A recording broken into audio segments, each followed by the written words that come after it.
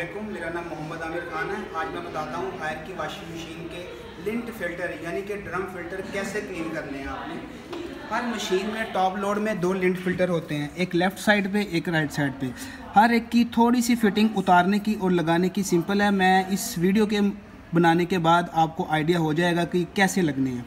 ये देखें जी, यहाँ पर थोड़ी सी एक फिंगर पुश करने की ऑप्शन है। आपने यहाँ से इसको पुश करना है और ये फ़िल्टर आपका इजीली बाहर आ जाएगा। ऐसे ही दूसरी साइड वाला फ़िल्टर है, आप इसकी, इस फिटिंग पे पुश करेंगे तो ये बाहर आ जाएगा। आपने इसको ब्रश की मदद से अच्छे तरीके से आपने इसको वाश करना है और वाश करने के बाद, इस नेट को आपने वाश करना है। वाश करने के बाद आपने उसी तरह, इसमें कोई ऐसा नहीं है कि ये अगर ये वाला उधर और वो वाला इधर ईजीली लग सकता है। तो आपने नीचे फिट करके उसके बाद इसको ये ऐसे और ये वाला भी सेम नीचे पहले फिटिंग करके इसकी, और ये भी ठीक, ऐसे लगेगा